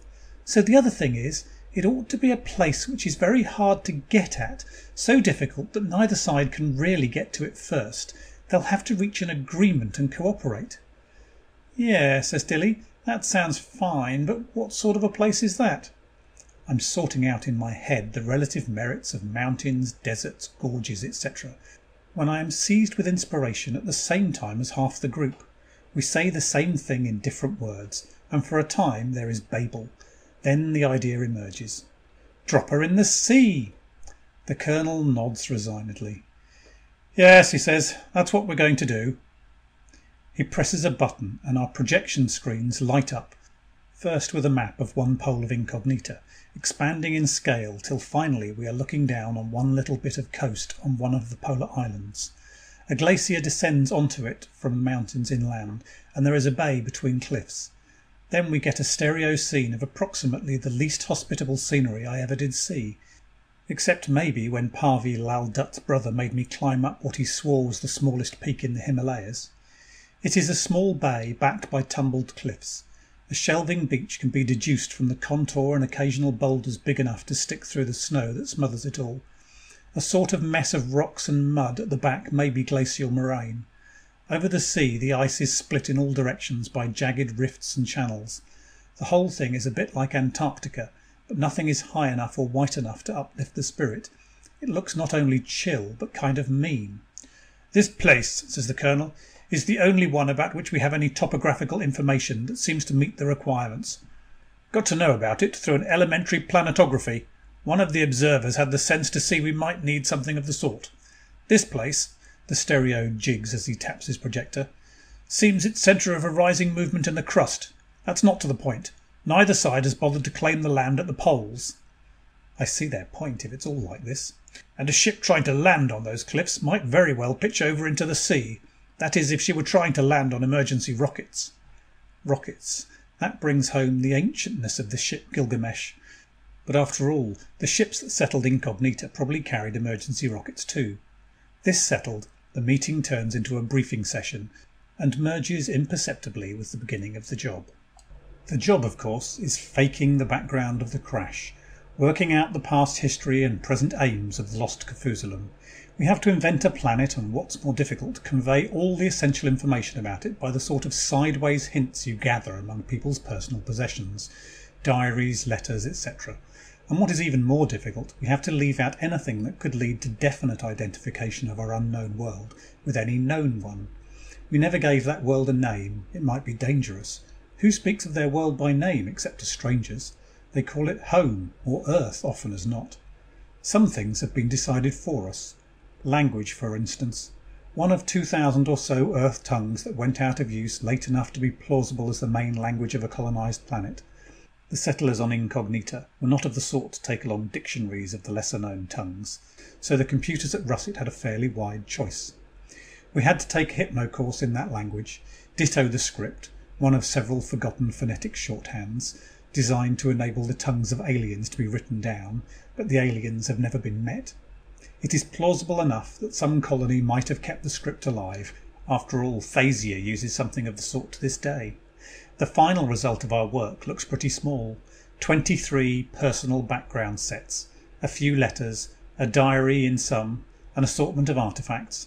Whoever stocked this ship we are on supplied wood, of the half dozen kinds that have been taken wherever men have gone, stocks of a few plastics, known at the time of the Exodus, or easily developed from those known, and not associated with any particular planet. Also books on design, a form writer for translating drawings into materials, and so on. Someone put in a lot of work before this voyage began. Most of the time, it is like being back on Russett doing a group project. What we are working on has no more and no less reality than that. Our work is all read into a computer and checked against everybody else's. At first we keep clashing. Gradually a consistent picture builds up and gets translated finally into the personal background kits. The lost Kafoozalum start to exist like people in a history book. Fifteen days hard work, and we've just about finished. Then we reach, call it Planet Gilgamesh. I wake in my bunk to hear that there will be a brief cessation of weight. Strap down, please. We are coming off mass time to go on planetary drive. Colonel Delano Smith is in charge of operations on the planet, with Ram and Peter to assist. None of the rest of us see the melting out of 50 years accumulation of ice, the pumping away of the water, the fitting and testing of holds for the grappling beams. We stay inside the ship on 5 8 G, which we do not have time to get used to, and try to work, and discard the results before the computer can do so. There's hardly any work left to do anyway. It takes nearly 12 hours to get the ship free and caulked and ready to lift. Her hull has to be patched because of Mr. Yardo's operations, which make use of several sorts of vapours. Then there is a queer blind period, with up now one way, now another, and sudden jerks and tugs that upset everything not in gimbals or tied down, interspersed with periods when weightlessness supervenes with no warning at all. After an hour or two of this, it would be hard to say whether mental or physical discomfort is more acute. B, consulted, however, says my autonomic system must be quite something after five minutes, her thoughts were with her viscera entirely. Then, suddenly, we're back on mass time again. Two days to go. At first, being on mass time makes everything seem normal again. By sleep time there is a strain, and next day it is everywhere. I know as well as any that on mass time the greater the mass the faster the shift. All the same, I cannot help feeling we are being slowed, dragged back by the dead ship coupled to our live one. When you stand by the hull, the Gilgamesh is only ten feet away. I should have kept something to work on, like B and Kirsty, who've not done their letters for home in case of accidents. Mine is signed and sealed long ago. I'm making a good start on a neurosis when Delano Smith announces a meeting for one hour ahead. Hurrah! Now there is a time mark fixed. I think of all sorts of things I should have done before. For instance, taking a long look at the controls of the hoppers. I've been in one of them half an hour and figured out most of the dials. Up, down, and sideways are controlled much as in a helicar, but here a big view screen has been hooked into the autopilot. When across the hold, I see the airlock start to move. Gilgamesh is on the other side. It takes forever to open. When at last it swings wide on the dark tunnel, what comes through is a storage rack, empty, floating on antigrav. What follows is a figure in a spacesuit, modern type, but the windows of the hopper are semi polarized, and I cannot make the face out inside the bubble top. He slings the rack upon the bulkhead, takes off the helmet and hangs that up too. Then he just stands. I am beginning to muster enough sense to wonder why when he comes slowly across the hold. Reaching the doorway, he says, "Oh, it's you, Lizzie. You'll have to help me out of this. I'm stuck." McClare. The outside of the suit is still freezing cold. Maybe this is what has jammed the fastening. After a few minutes tugging, it suddenly gives way. McClare climbs out of the suit, leaving it standing, and says, Help me count these, will you? These are a series of transparent containers from a pouch slung at one side of the suit. I recognize them as envelopes in which we put what are referred to as personal background sets. I say there ought to be 23. No, says McClare dreamily, 22. We're saving one of them. What on earth is the use of an extra set of fake documents and oddments? He seems to wake up suddenly and says, what are you doing here, Lizzie? I explain, and he wanders over to the hopper and starts to explain the controls.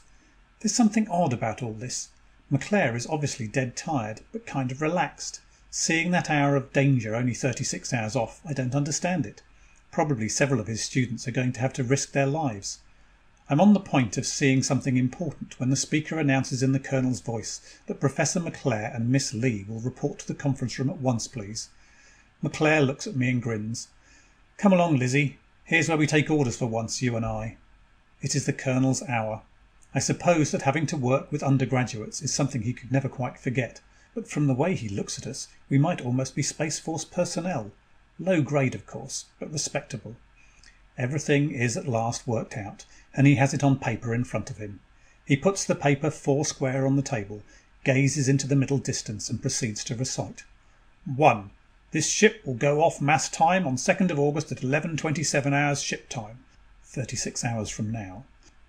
At a point 1000 miles vertically above coordinates 1650 east 7320 south on planet Incognita, approximately 1 hour before midnight local time. Going on planetary drive as close as that will indicate that something is badly wrong to begin with. 2. This ship will descend coupled to Gilgamesh as at present, to a point 70 miles above the planetary surface. It will then uncouple, discharge one hopper, and go back on mass time. Estimated time for this stage of descent 40 minutes. 3. The hopper will then descend on its own engines at the maximum speed allowed by the heat disposal system, estimated at 37 minutes. Gilgamesh will complete descent in 33 minutes.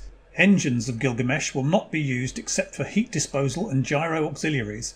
The following installations have been made to allow for the control of the descent.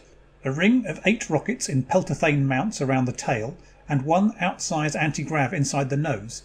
Sympathizer controls hooked up with a visiscreen and a computer have also been installed in the nose. 4. Gilgamesh will carry one man only. The hopper will carry a crew of three. The pilot of Gilgamesh will establish the ship on the edge of the cliff, supported on antigrav a foot or so above the ground and leaning towards the sea at an angle of approximately 20 degrees with the vertical. Except for this, landing will be automatic. 5. The Colonel's voice has lulled us into passive acceptance. Now we are jerked into sharper attention by the faintest possible check in it. The greatest danger attaching to the expedition is that the incognitions may discover that the crash has been faked. This would be inevitable if they were to capture A. the hopper, B. any of the new installations in Gilgamesh, especially the antigrav, or C. any member of the crew. The function of the hopper is to pick up the pilot of Gilgamesh and also to check that the ground appearances are consistent. If not, they will produce a landslip off the cliff edge using power tools and explosives carried for the purpose. That is why the hopper has a crew of three, but the chance of their having to do this is slight. So I should think. Ground appearances are supposed to show that the Gilgamesh landed using emergency rockets and then toppled over the cliff. This will be exactly what happened. The pilot will carry a one frequency low power transmitter activated by the change in magnetic field on leaving the ship.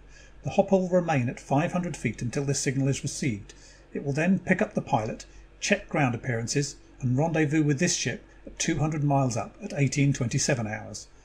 The ship and the hopper, both being radar absorbent, will not register on alarm systems, and by keeping to planetary nighttime, they should be safe from being seen. Danger B will be dealt with as follows. The rocket mounts, being of peltathane, will be destroyed by half an hour's immersion in water. The installations in the nose will be destroyed with andite, Andite produces molecular disruption in a very short range, hardly any damage outside of it. The effect will be as though the nose broke off on impact. I suppose the incognitions will waste a lot of time looking for it on the bed of the sea. Four 10 centimeter cartridges will be inserted within the nose insulations. The fuse will have two alternative settings. The first will be timed to act at 1250 hours, 7 minutes after the estimated time of landing. It will not be possible to deactivate it before 1245 hours, this takes care of the possibility of the pilots becoming incapacitated during the descent. Having switched off the first fuse, the pilot will get the ship into position and then activate a second, timed to blow in 10 minutes. He will then leave the ship. When the antigrav is destroyed, the ship will, of course, fall into the sea. 6. The pilot of Gilgamesh will wear a spacesuit of a pattern used by the original crew and will carry personal background set number 23. Should he fail to escape from the ship, the crew of the hopper will on no account attempt to rescue him. The colonel takes up the paper, folds it in half, and puts it down one inch further away. The hopper's crew, he says, will give the whole game away should one of them fall into incognition hands, alive or dead. Therefore, they don't take any risks of it. He lifts his gaze ceilingwards. I'm asking for three volunteers. Silence. Manning the hopper is definitely second best. Then light suddenly bursts on me. I lift my hand and hack B on the ankle. I volunteer, I say. B gives me a most dubious glance and then lifts her hand too. Cray on the other side of the table is slowly opening his mouth when there is an outburst of waving on the far side of B. Me too, Colonel. I volunteer. Mr. Yardo proceeds to explain that his special job is over and done. He can be more easily spared than anybody. He may be too old to take charge of Gilgamesh, but will back himself as a hopper pilot against anybody.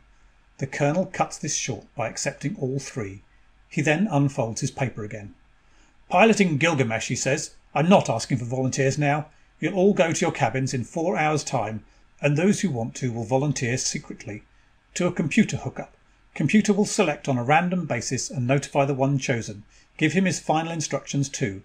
No one need know who it was till it's all over. He can tell anyone he likes, of course. A very slight note of triumph creeps into the next remark. One point. Only men need volunteer.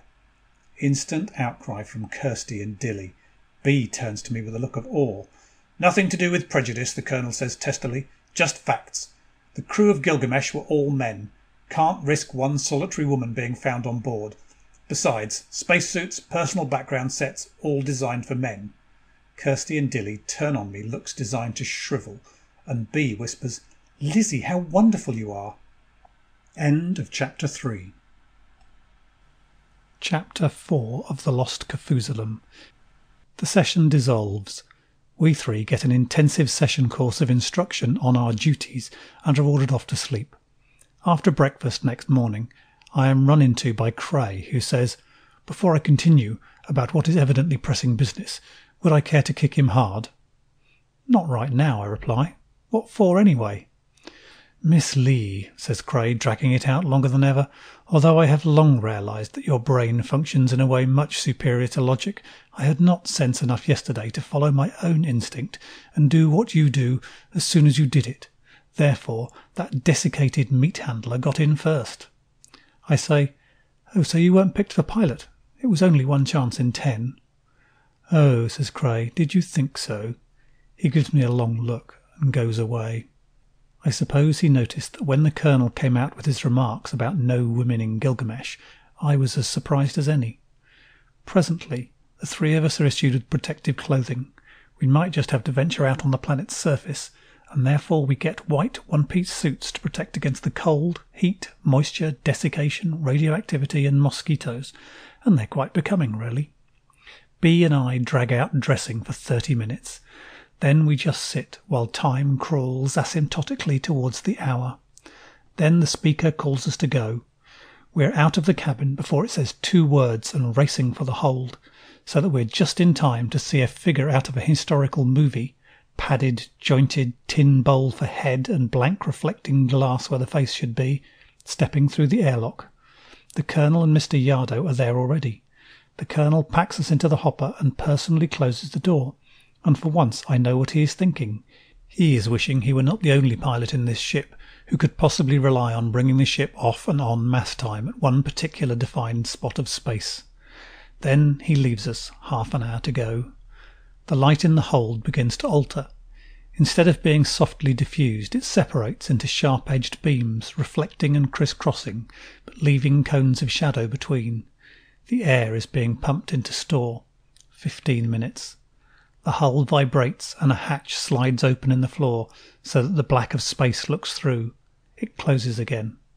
Mr. Yardo lifts the hopper gently off its mount and lets it back in again. Testing. Five minutes to go. I am hypnotized by my chronometer. The hands are crawling through glue. I am still staring at it when, at the exact second, we go off mass time. No, wait. I hook my heels under the seat and persuade my esophagus back into place. A new period of waiting has begun. Every so often comes the impression we're falling head first. The Colonel using ship's drive to decelerate the whole system. Then more free fall. The hopper drifts very slowly out into the hold and hovers over the hatch, and the lights go. There is only the glow from the visiscreen and the instrument board. One minute thirty seconds to go. The hatch slides open. I take a deep breath. I am still holding it when the Colonel's voice comes over the speaker. Calling Gilgamesh. Calling the hopper. Goodbye and good luck. You're on your own. The ship is gone. Yet another stretch of time has been marked off for us. Thirty-seven minutes. The least time allowable if we're not to get overheated by friction with the air. Mr. Yardo is a good pilot. He's concentrating wholly on the visiscreen and thermometer. B and I are free to look around. I see nothing and say so. I did not know or have forgotten that Incognita has many small satellites. From here there are four in sight. I am still looking at them when B seizes my arm painfully and points below us. I see nothing and say so.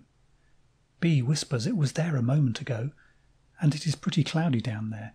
Yes, Lizzie, there it is, look.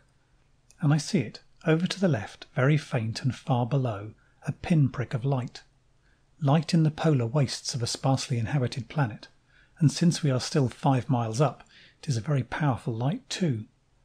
No doubt about it, as we descend further, about fifty miles from our objective, there are men, quite a lot of them. I think it is just then that I understand, really understand, the hazard of what we are doing. This is not an exercise, this is in dead earnest, and if we have missed an essential factor, or calculated something wrong, the result will not be a bad mark or a failed exam or even our personal deaths, but incalculable harm and misery to millions of people we never heard of. Dead earnest, how in space did we ever have cheek enough for this? The lights might be the essential factor we have missed, but there is nothing we can do about them now. Mr. Yardo suddenly chuckles and points to the screen. There you are, girlies. He's down. There, greyly dim, is the map the Colonel showed us. Right on the faint line of the cliff edge is a small, brilliant dot. The map is expanding rapidly, great lengths of coastline shooting out of sight at the edge of the screen. Mr. Yardo has the crosshairs centered on the dot, which is Gilgamesh. The dot is changing shape. It is turning into a short ellipse, a longer one. The gyros are leaning her out over the sea. I look at my chronometer. Twelve fifty hours exactly. B looks too and grips my hand. Thirty seconds later, the andite has not blown. First safety fuse turned off. Surely she's leaning far enough out by now. We are hovering at 500 feet. I can actually see the white edge of the sea beating at the cliff. Mr. Yardo keeps making small corrections. There is a wind out there trying to blow us away. It is cloudy here. I can see neither moons nor stars. Mr. Yardo checks the radio. Nothing yet. I stare downwards and fancy I can see a metallic gleam. Then there is a wordless shout from Mr. Yardo. A bright dot hurtles across the screen, and at the same time I see a streak of blue flame tearing diagonally downwards a hundred feet away. The hopper shudders to a flat concussion in the air. We are all thrown off balance, and when I claw my way back to the screen, the moving dot is gone. So is Gilgamesh. B says numbly, But it wasn't a meteor. It can't have been. It doesn't matter what it was, I say. It was some sort of missile, I think. They must be even nearer to war than we thought. We wait. What for, I don't know. Another missile, perhaps? No more come. At last, Mr. Yardo stirs. His voice sounds creaky. I guess, he says, then clears his throat and tries again. I guess we have to go back up. B says, Lizzie, who was it? Do you know? Of course I do. Do you think McClare was going to risk one of us on that job? The volunteering was a fake. He went himself. B whispers, You're just guessing. Maybe, says Mr. Yardo, but I happened to see through that faceplate of his. It was the professor, all right. He has his hand on one of the controls when my brain starts working again. I utter a strangled noise and dive for the hatch into the cargo hold. B tries to grab me, but I get it open and switch on the light. Fifty-fifty chance. I've lost. No, this is the one we came in, and the people who put in the cargo hold did not clear out my fish boat. They just clamped it neatly to the wall.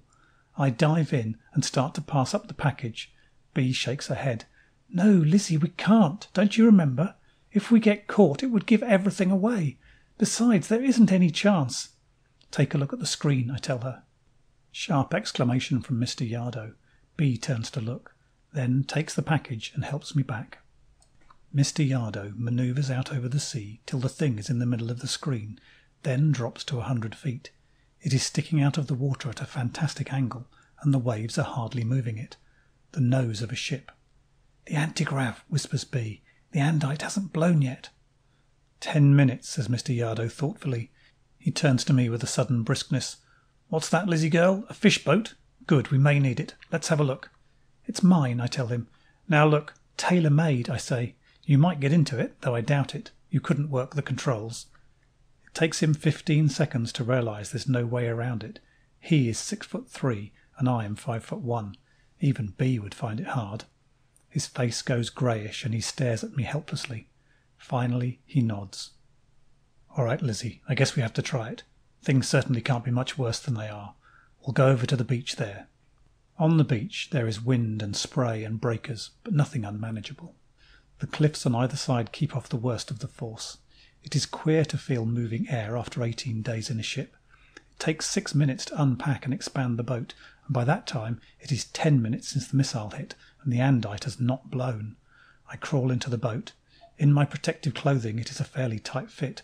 We agree that I will return to this same point, and they will start looking for me in 50 minutes' time, and will give up if I have not returned in two hours. I take two andite cartridges to deal with all eventualities and snap the nose of the boat into place. At first, I am very conscious of the two little white cigars in the pouch of my suit. But presently I have other things to think about. I use the limbs to crawl the last few yards of shingle into the water and on across the sea bottom till I am beyond the line of breakers. Then I turn on the motor. I have already set the controls to home on Gilgamesh, and the radar will steer me off any obstructions. This journey in the dark is as safe as my trip around the reefs before all this started, though it doesn't feel that way. It takes 12 minutes to reach Gilgamesh, or rather the fragment that Antigrav is supporting. It is about half a mile from the beach. The radar stops me six feet from her, and I switch it off and turn to manual, an inch closer in. Lights, a very small close beam. The missile struck her about one third of her length behind the nose. I know because I can see the whole of that length. It is hanging just above the water, sloping at 30 degrees to the horizontal. The ragged edge where it was torn from the rest is just dipping into the sea. If anyone sees this, I don't know what they will make of it, but no one could possibly think an ordinary spaceship suffered an ordinary crash, and very little investigation would show up the truth. I reach up with the forward set of limbs and grapple onto the brake. I now have somehow to get the hind set of limbs up without losing my grip. I can't. It takes several minutes to realize that I can just open the nose and crawl out. Immediately a wave hits me in the face and does its best to drag me into the sea. However, the interior of the ship is relatively sheltered, and presently I am inside and dragging the boat up out of reach. I need light. Presently I manage to detach one of the two from the boat. I turn it down to minimum close beam and hang it round my neck. Then I start up the black jag edge tunnel of the ship. I have to get to the nose, find the fuse, change the setting to 20 minutes, maximum possible, and get out before it blows, out of the water, I mean, the fish boat is not constructed to take explosions even half a mile away, but the first thing is to find the fuse, and I cannot make out how Gilgamesh is lying, and therefore cannot find the door through this bulkhead. Everything is ripped and twisted. In the end, I find a gap between the bulkhead itself and the hull, and squeeze through that. In the next compartment, things are more recognizable, and I eventually find the door. Fortunately, ships are designed so that you can get through doors even when they're in the ceiling. Actually, here I have to climb up an overhang, but the surface is provided with rungs, which make it not too bad. Finally, I reach the door. I shall have to use antigrav to get down. Why didn't I just turn it on and jump? I forgot I had it. The door was a little way open when the missile struck. It buckled in its grooves and is jammed fast. I can get an arm through, no more. I switch on antigrav and hang there, directing the light round the compartment. No rents anywhere, just buckling. This compartment is divided by a partition, and the door through that is open. There will be another door into the nose on the other side. I bring back my feet ready to kick off in a dive through that doorway. Behind me, something stirs. My muscles go into a spasm, like the one that causes a falling dream.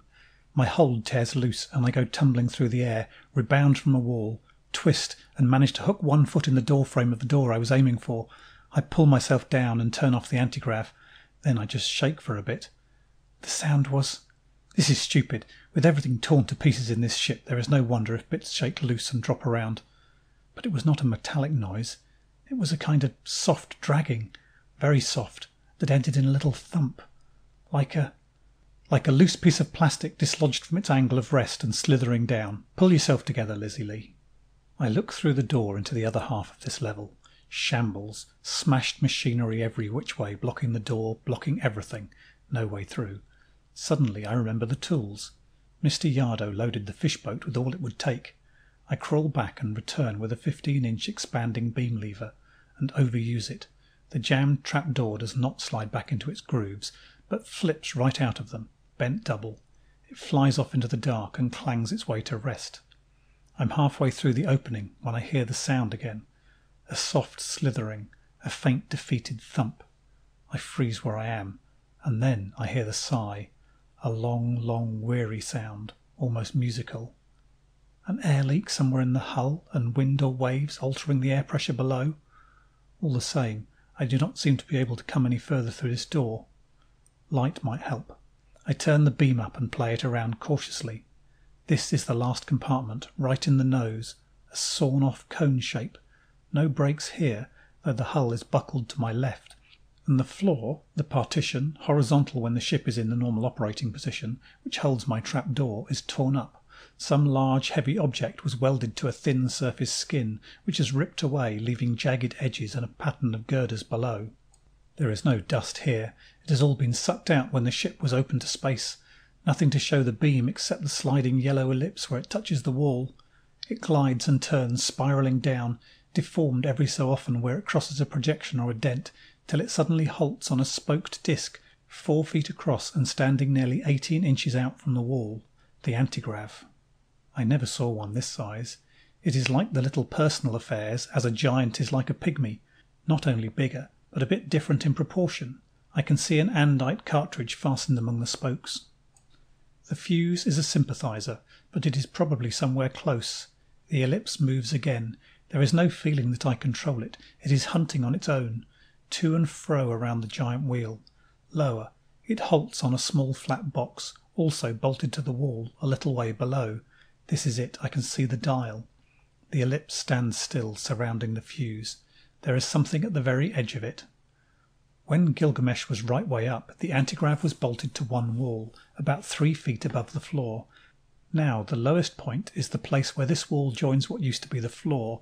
Something has fallen down to that point and is huddled there in the dark. The beam jerks suddenly up and the breath whoops out of me. A round thing sticking out of the wall. Then I realize it is an archaic space helmet, clamped to the wall for safety when the wearer took it off. I take charge of the ellipse of light and move it slowly down past the fuse to the thing below. A little dark scalloping at the edge of the light. The tips of fingers, a hand. I turn up the light. When the missile struck, the big computer was wrenched loose from the floor. It careened down as the floor tilted, taking with it anything that stood in its way. McClare was just stooping to the fuse, I think. The computer smashed against his legs and pinned him down in the angle between the wall and the floor. His legs are hidden by it. Because of the spacesuit, he does not look crushed. The thick, clumsy joints have kept their roundness so far as they are visible. Only his hands and head are bare and vulnerable looking. I am halfway down, floating on minimum gravity, before it really occurs to me that he may be alive. I switch to half and drop beside him. His face is colourless, but he is breathing all right. First aid kit. I will never make fun of Space Force thoroughness again. Rows and rows of small plastic ampules, needles. Painkiller first.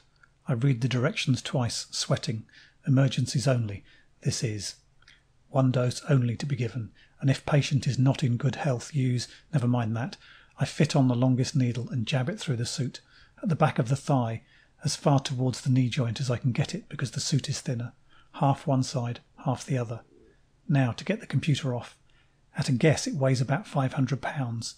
The beam lever would do it, but it would probably fall back. Antigrav. The personal size is supposed to take up to three times the weight of the average man. I take mine off and buckle the straps through a convenient gap. I have my hands on the thing when McClare sighs again. He's lying on his belly, but his head is turned to one side, towards me. Slowly his eyelids open. He catches the sight of my hand his head moves a little and says, Lizzie, golden Liz. I say not to worry, we'll soon be out of here. His body jumps convulsively and he cries out. His hand reaches my sleeve and feels. He says, Liz, oh God, I thought, what? I say things are under control and just keep quiet a bit. His eyes close. After a moment, he whispers, Something hit the ship. A homing missile, I think.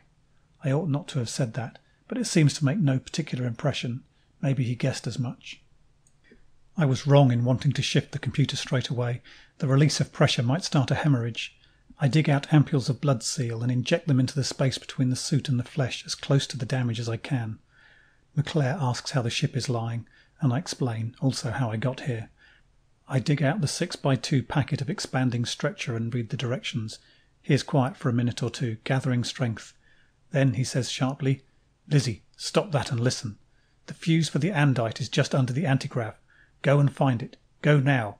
There's a dial with 20 divisions, marked in black. You see it? Turn the pointer to the last division. Is that done? Now, you see the switch under the pointer. Is your boat ready? I beg your pardon. Of course you left it that way. Then turn the switch and get out.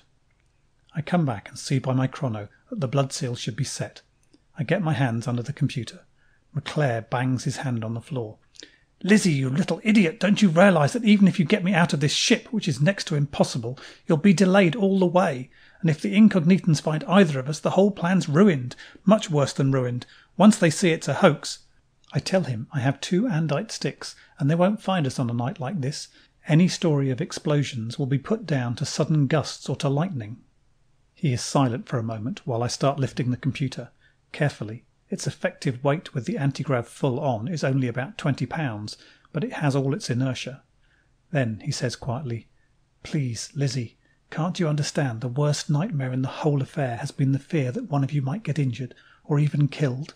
When I realized that only one person was needed to pilot Gilgamesh, it was the greatest relief I ever experienced. Now you say, his voice picks up suddenly, Lizzie, you're beaten anyway. The I'm losing all feeling, even pain. I can't feel anything behind my shoulders. It's creeping up. I say this means the painkiller I shot him with is acting as advertised, and he makes a sound as much like an explosive chuckle as anything, and it's quiet again. The curvature between the floor and the wall is not helpful. I'm trying to find a place to wedge the computer so it cannot fall back when I take off the antigrav. Presently I get it pushed onto a sort of ledge formed by a dent in the floor, which I think will hold it. I ease off the antigrav and the computer stays put. I don't like the looks of it, so let's get out of here. I push the package stretcher under his middle and pull the tape before I turn the light onto his legs to see the damage. I cannot make out very much. The joints of the suit are smashed some, but as far as I can see, the inner lining is not broken, which means it is still air and watertight. I put a hand under his chest to feel how the stretcher is going. It is now expanded to 18 inches by 6, and I can feel it pushing out, but it is slow. What else have I to do? Oh, yes, get the helmet. I'm standing up to reach for it when McClare says, What are you doing? Well, don't put it on for a minute. There is something I would like to tell you, and with all respect for your obstinacy, I doubt very much whether I shall have another chance. Keep that light off me, will you? It hurts my eyes. You know, Lizzie, I dislike risking the lives of any of the students for whom I'm responsible, but as it happens, I find the idea of you blowing yourself to atoms particularly objectionable because I happen to be in love with you. You're also one of my best students. I used to think that was why I'd been so insistent on your coming to Russett, but I rather think my motives were mixed even then. I meant to tell you this after you graduated and to ask you to marry me. Not that I thought you would. I know quite well. You never quite forgave me, but I don't want to have to remember. I didn't have the guts to. His voice trails off. I get a belated rush of sense to the head and turn the light onto his face. His head is turned sideways and his fist is clenched against the side of his neck. When I touch it, his hand falls open and five discharged ampules fall out. Painkiller. Maximum dose one ampule. All that talk was just to hold my attention when he fixed the needles, and I left the kit spread out right next to him. While I am taking this in, some small cold corner of my mind is remembering the instructions that are on the painkiller ampule. It does not say outright that it is the last refuge for men in extremity of pain and despair. Therefore, it cannot say outright that they sometimes despair too soon, but it does tell you the name of the antidote. There are only three ampules of this, and they also say maximum dose one ampule. I try to work it out, but lacking all other information, the best I can do is inject two and keep one till later. I put that in my pocket. The stretcher is all expanded now, a very thin but quite rigid grid six feet by two. I lash him on it without changing his position and fasten the helmet over his head. Antigrav. The straps just go round him and the stretcher. I point the thing up towards the trap door and give it a gentle push. Then I scramble up the rungs and get there just in time to guide it through. It takes a knock then, and some more when I am getting it down to the next partition, but he can't feel it. This time I find the door, because the roar of noise behind it acts as a guide. The sea is getting up and is dashing halfway to the door as I crawl through. My boat is awash, pivoting to and fro on the grips of the front limbs. I grab it, release the limbs, and pull it as far back as the door. I maneuver the stretcher on top and realize there is nothing to fasten it with, except the antigrav. I get that undone holding the stretcher in balance, and manage to put it under the stretcher and pass the straps between the bars of the grid, then round the little boat, and the buckle just grips the last inch. It will hold, though. End of chapter 4. Chapter 5 of The Lost Kafoozalum by Pauline Ashwell. I set the boat to face the broken end of the ship, but I daren't put it farther back than the doorway. I turn the antigrav to half, fasten the limb grips, and rush back to the nose of the ship. silver knob under the dial. I turn it down, hear the thing begin a fast, steady ticking, and turn and run. Twenty minutes. One and a half to get back to the boat. Four to get inside it without overturning. Nearly two to get down to the sea. Balance difficult. One and a half to lower myself in. Thirty seconds tossing before I sink below the wave layer. Then I turn the motor as high as I dare and head for the shore. In a minute I have to turn it down. At this speed the radar is bothered by water currents and keeps steering me away from them as though they were rocks. I finally find the maximum safe speed, but it is achingly slow. What happens if you're in water when the andite blows half a mile away? A moment's panic as I find the ship being forced up. Then I realize I have reached the point where the beach starts to shelve. Turn off radar and motor and start crawling. Eternal slow reach out, grab, shove, haul, with my heart in my mouth. Then suddenly the nose breaks water and I'm hauling myself out with just a last wave doing its best to overbalance me. I'm halfway out of the boat when the andite blows behind me. There is a flat slapping sound, then an instant roar of wind as the air receives the binding energies of several tons of matter. Then a long wave comes pelting up the beach and snatches at the boat. I huddle onto the shingle and hold the boat. I've just got the anti-grav turned off, otherwise I think I would have been carried away. There are two or three more big waves and a patter of spray. Then it's over.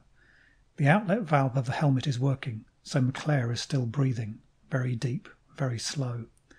I unfasten the belt of the antigrav, having turned it on again, and pull the belt through the buckle. No time to take it off and rearrange it anyway. It will work as well under the stretcher as on top of it. I drag the boat down to the water, put in an andite cartridge with the longest fuse I have, Set the controls to take it straight out to sea at maximum depth the radar control will allow, six feet above bottom, and push it off. The other andite cartridge starts burning a hole in my pocket. I would have liked to put that in too, but I must keep it in case. I look at my chrono and see that in five minutes the hopper will come. Five minutes. I'm halfway back to the stretcher when I hear a noise further up the beach. Unmistakable. Shingle under a booted foot. I stand frozen in mid stride. I turned the light out after launching the boat, but my eyes have not recovered yet. It is murkily black. Even my white suit is only the faintest degree paler than my surroundings. Silence for a couple of minutes. I stand still, but it can't have gone away. What happens when the hopper comes? They will see whoever it is on the infrared vision screen. They won't come. Footsteps again. Several. Then the clouds part and one of those superfluous little moons shines straight through the gap. The bay is not like the stereo the Colonel showed, because that was taken in winter. Now the snow is melted, leaving bare shingle and mud and a tumble of rocks, more desolate than the snow. Fifty feet off is a man. He is huddled up in a mass of garments, but his head is bare, rising out of a hood which he has pushed back, maybe so as to listen better. He looks young, hardly older than me. He is holding a long, thin object which I never saw before, but it must be a weapon of some sort. This is the end of it. All the evidence of faking is destroyed, except McClare and me. Even if I use the andite, he has seen me, and that leaves McClare. I'm standing here on one foot like a dancer in a jammed movie, waiting for time to start again, or the world to end. Like the figure in a dance instruction kit Dad got when I was seven, when you switched her off in the middle. Like a dancer. My weight shifts onto the forward foot. My arms swing up, forwards, back. I take one step, another swing, turn, kick, sideways, like the silly dancer who could not get out of the plastic block. But I am moving forward little by little, even if I have to take three steps round about for every one in advance. Arms up, turn, round, leg up, straighten, out, step. Called the dance of the little robot. For about three months, Dad thought it was no end cute, till he caught on I was thinking so too. It's just about the only kind of dance you could do on shingle, I guess. When this started, I thought I might be going crazy, but I just had not had time to work it out. In terms of psychology, it goes like this. To shoot off a weapon, a man needs a certain type of stimulus, like the sight of an enemy over the end of it. So if I do my best not to look like an enemy, he will not get that stimulus. Or, put it another way, most men think twice before shooting a girl in the middle of a dance. If I should happen to get away with this, nobody will believe his story, he won't believe it himself. As for the chance of getting away with it, i.e., getting close enough to grab the gun or hit him with a rock or something, I know I would become a stimulus to shooting before I did that, but there are always the clouds. If one will only come back over the moon again. I have covered half the distance. Twenty feet from him, and he takes a quick step back. Turn, kick, out, step. I am swinging round away from him. Let's hope he finds it reassuring. I dare not look up, but I think the light is dimming. Turn, kick, out, steps, boxing the compass, coming round again, and the cloud is coming over the moon. Out of the corner of my eye, I see darkness sweeping towards us, and I see his face of sheer horror as he sees it too. He jumps back, swings up the weapon, and fires straight in my face. And it is dark. So much for psychology. There is a clatter and other sounds. Well, quite a lot for psychology, maybe, because at twenty feet he seems to have missed me. I pick myself up and touch something, which apparently is his weapon, gun, or whatever. I leave it and hare back to the stretcher. Next to fall over it, but stop just in time and switch on the antigrav. Up, level it. Now, where to? The cliffs enclosing the bay are about 30 yards off to my left, and they offer the only cover. The shingle is relatively level. I make good time till I stumble against a rock and nearly lose the stretcher. I step up onto the rock, and I see the cliff as a blacker mass in the general darkness only a yard away. I edge the stretcher round it. It is almost snatched out of my hand by a gust of wind. I pull it back and realize that in the bay I have been sheltered. There is pretty near half a gale blowing across the face of the cliff. Voices and footsteps away back among the rocks where the man came from. If the clouds part again, they will see me sure as shooting. I take a hard grip on the stretcher and scramble round the edge of the cliff. After the first gust, the wind is not so bad. For the most part, it is trying to press me back into the cliff. The trouble is that I can't see. I have to shuffle my foot forwards, rubbing one shoulder against the cliff to feel where it is, because I have no hand free. After a few yards, I come to an impasse, something more than knee high. Boulder, ridge, I can't tell. I weigh on the edge of the stretcher and tilt it up to get it over the obstacle.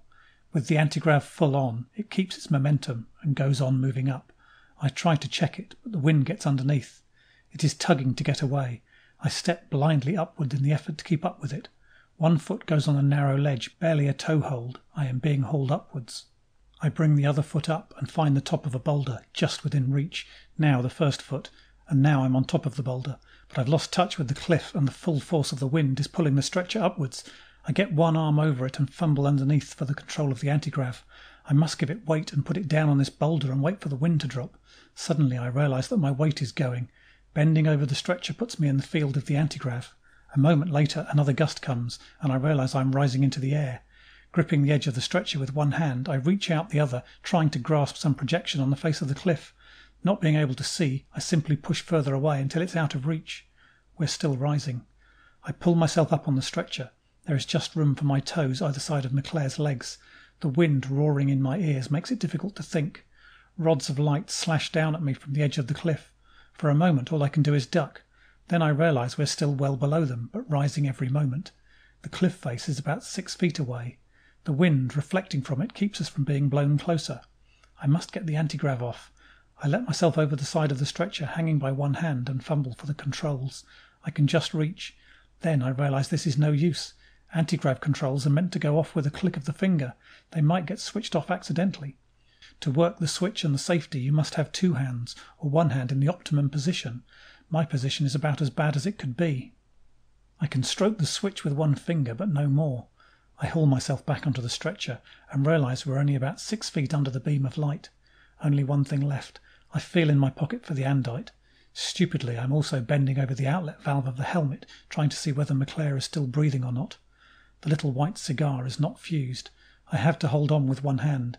In the end, I manage to stick the andite between thumb and finger roots of that hand, while I use the other to find the fuse and stick it over the andite. The shortest, three minutes. I think the valve is still moving. Then something drops round me. I am hauled tight against the stretcher. We are pulled strongly downwards with the wind buffeting and snatching, banging against the edge of something, and pulled through into silence and dark. For a moment I do not understand. Then I recognize the feel of fragile cargo still clamping me to the stretcher, and I open my mouth and scream and scream. Clatter of feet. Hatch opens. Fragile cargo goes limp. I stagger to my feet. Faint light through the hatch. B's head. I hold out the andite stick and she turns and shouts, and a panel slides open in the wall so that the wind comes roaring in. I push the stick through and the wind snatches it away and it is gone. After that? After that, for a while, nothing, I suppose, though I have no recollection of losing consciousness. Only, without any sense of break, I find I am flat on my back on one of the seats in the cabin of the hopper. I sit up and say, How?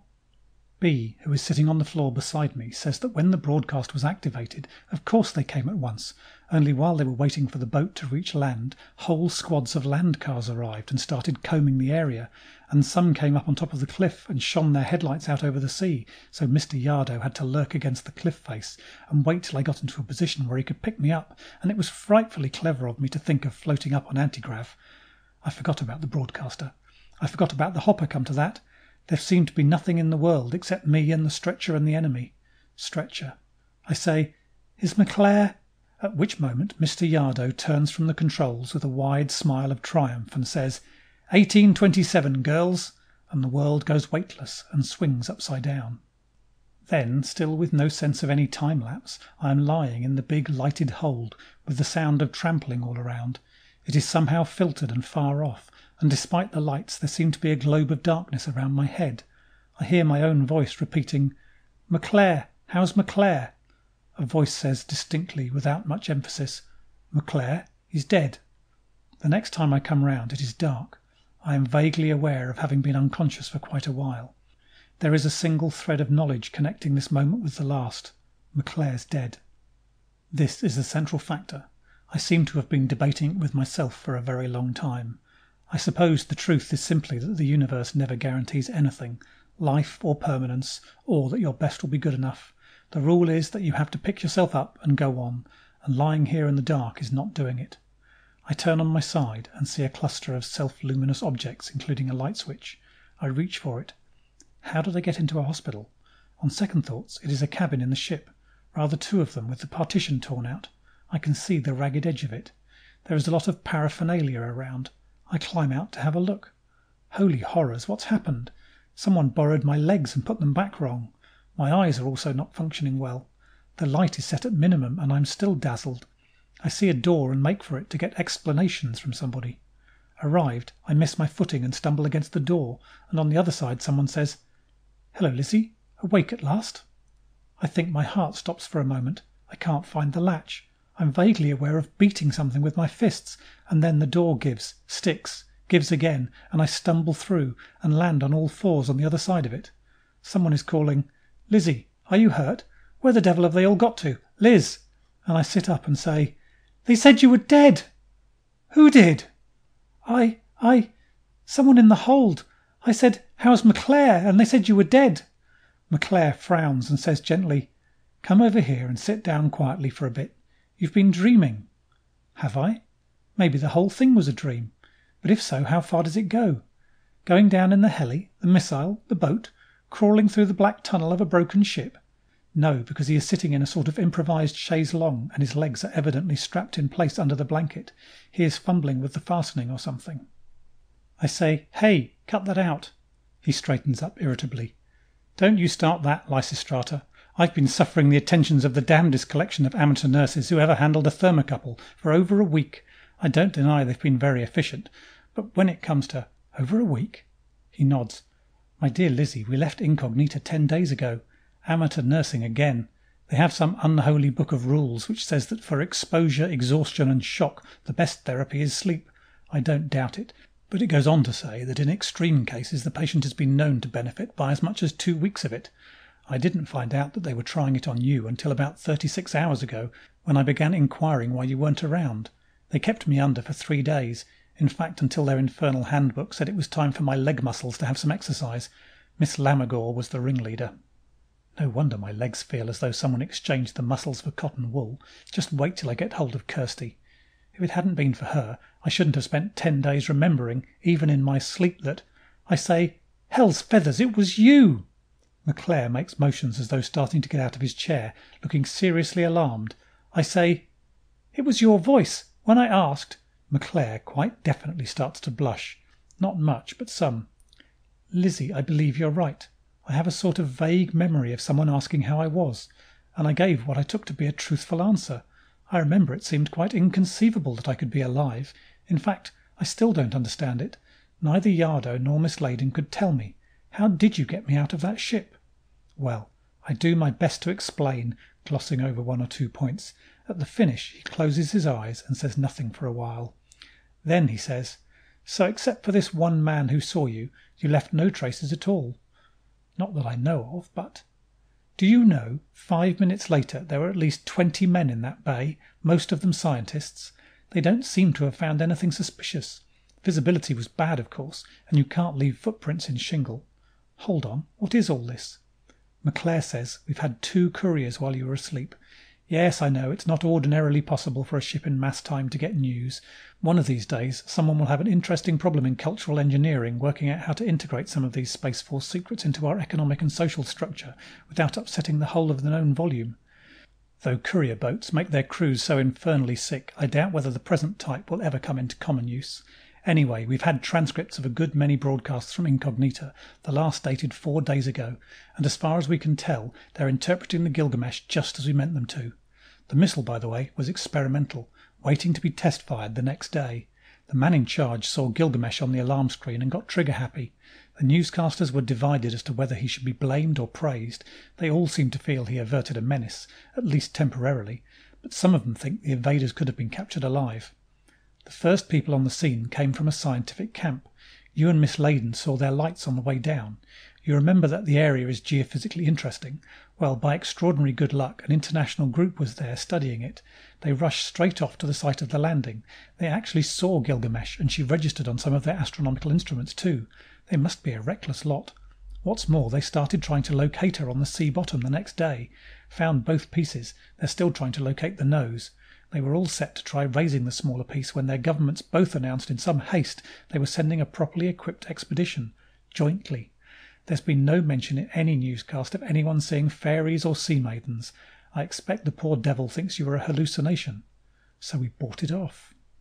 I am very thankful in a distant sort of way, but right now the incognitans have no more reality for me than the lost Kafoozalum. McClare came through alive. I could spend a good deal of time just getting used to that fact, but there's something I ought to say, and I don't know how. I inquire after his injuries and learn they are healing nicely. I look at him and he is frowning. He says, Lizzie, just before my well meant but ineffective attempt at suicide, here it comes. I say, quick, if he's worrying about all that nonsense he talked in order to distract my attention, forget it. I have. Silence. Then he says wearily, I talked nonsense, did I? I say there's no need to worry. Under the circumstances, anyone would have a perfect right to be raving off his nut. I then find I cannot bear this conversation any longer, so I get up, saying I expect he's tired and I will call someone. I get nearly to the door when. No, Lizzie, you can't let that crew loose on me just in order to change the conversation. Come back here. I appreciate your wish to spare my feelings, but it's wasted. We'll have this out here and now. I remember quite well what I said, and so do you. I said that I loved you. I also said that I had intended to ask you to marry me as soon as you ceased to be one of my pupils. Well, the results of finals were officially announced three days ago. I suppose I always knew what the answer would be, but I didn't want to spend the rest of my life wondering because I never had the guts to ask you. You don't dislike me as you used to. You've forgiven me for making you come to Russett, but you still think I'm a cold blooded manipulator of other people's minds and emotions. So I am. It's part of the job. You're quite right to distrust me for that, though. It is the danger of this profession that we end up by looking on everybody and everything as a subject for manipulation, even in our personal lives. I always knew that. I didn't begin to be afraid of it until I realized I was in love with you. I could have made you love me, Lizzie. I could. I didn't try. Not that I didn't want to love on those terms or any terms, but to use professional tricks in my private life ends by destroying all reality. I always treated you exactly as I treated my other students, I think, but I could have made you think you loved me, even if I am twice your age. This I cannot let pass. I say, Hi, according to college rumour, you cannot be more than 36. I'm 23. McClare says in a bemused sort of way, He'll be 37 in a couple of months. I say, I will be 24 next week, and your arithmetic is still screwy. And here is another datum you got wrong. I do love you very much. He says, Golden Liz. Then other things which I remember all right. I shall keep them to remember any time I am tired, sick, cold, hungry, 190. but they're not for writing down. Then, I suppose at some point we agreed it is time for me to go, because I find myself outside the cabin, and there is Colonel Delano Smith. He makes me a small speech about various matters, ending that he hears he has to congratulate me. Huh? Oh, space and time. Did one of those unmitigated so and so's my dear classmates leave McClare's communicator on?